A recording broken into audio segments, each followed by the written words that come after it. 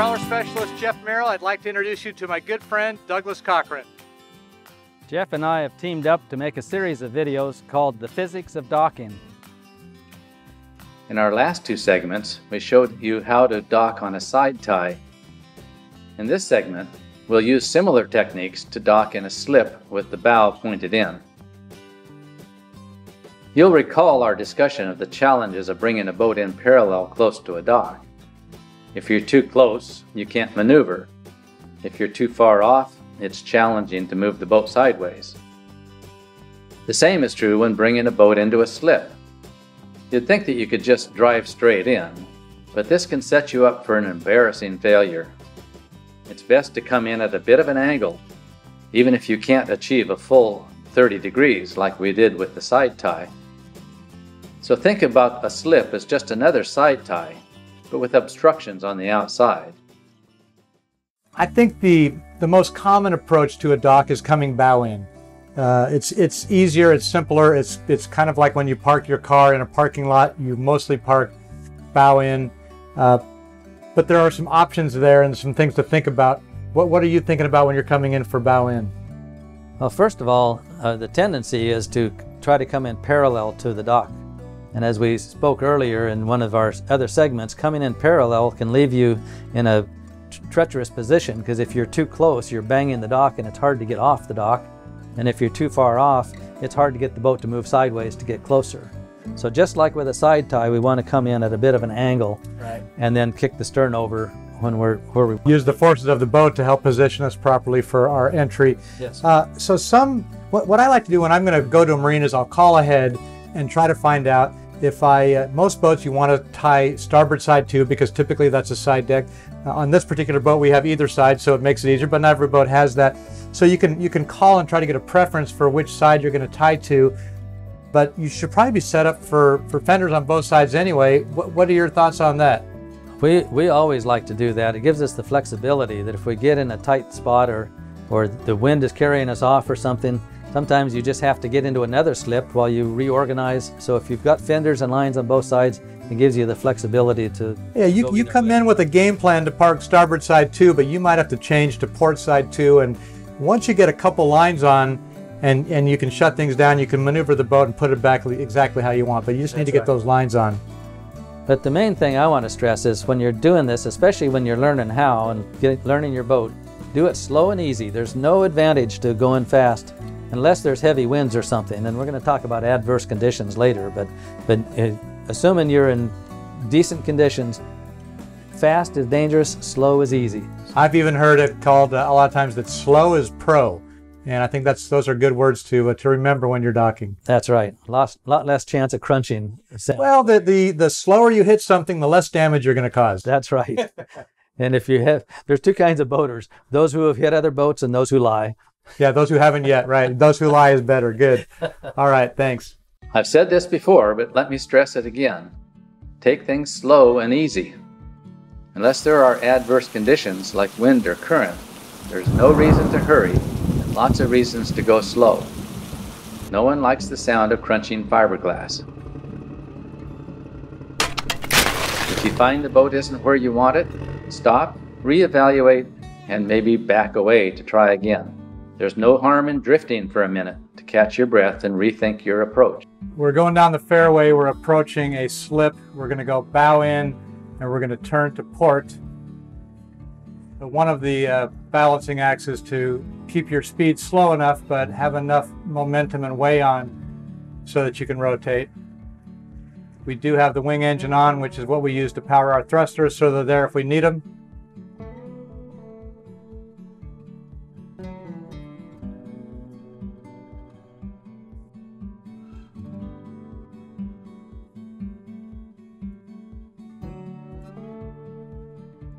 So I go into reverse to kill off a little speed here.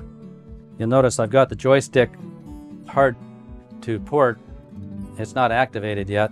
When I'm ready to activate, it will help me kick the stern over in a hurry.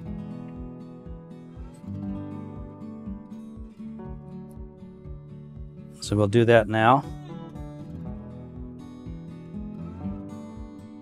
Then we'll go into forward and you'll see that we rotate around hard.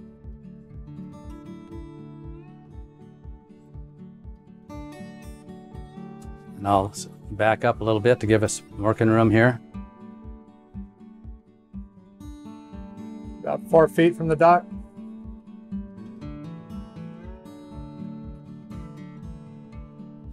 I'll go back into forward to rotate around some more.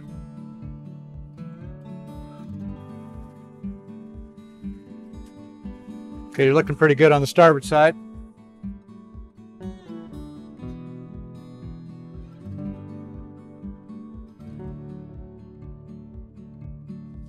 You have three feet on the port side. You're looking good.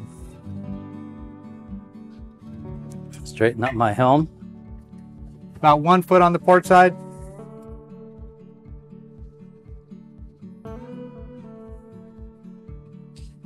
I'm going to thrust a little bit just to. And we'll ease our way in.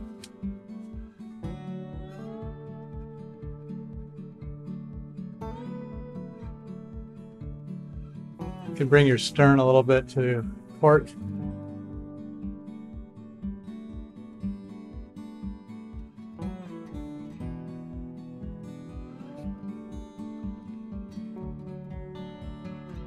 Ease our way in and we'll stop.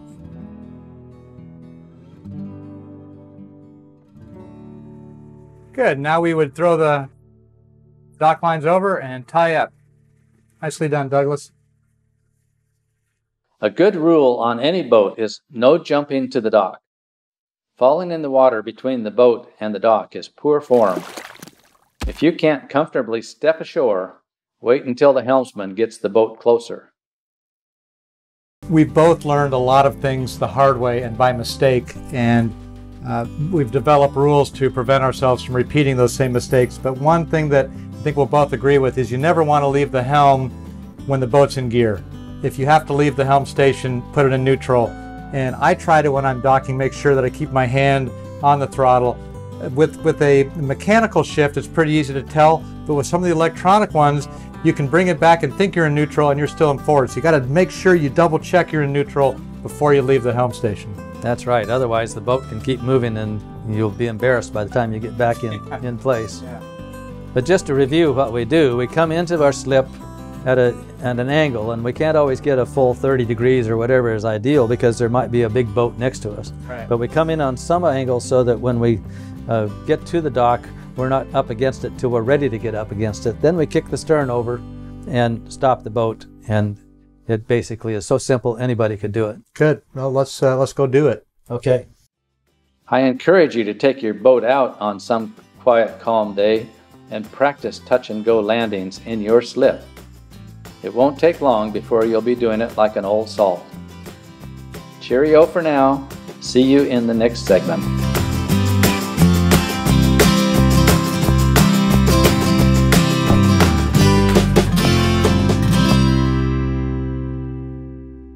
Hi, trawler fans. Thank you for watching the JMYS YouTube video channel. I'm fortunate to be offshore again. If you'd like to subscribe to this channel, you can click the button below.